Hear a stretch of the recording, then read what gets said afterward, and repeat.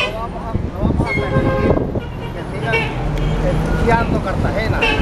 Por favor, hagan política honesta. Hagan una política honesta. No hay necesidad de estar pegando estos apiques. Miren cómo se ve la Cartagena de sucia. Utilicen otros medios virtuales para llegar a las comunidades. Pero esto no lo vamos a permitir.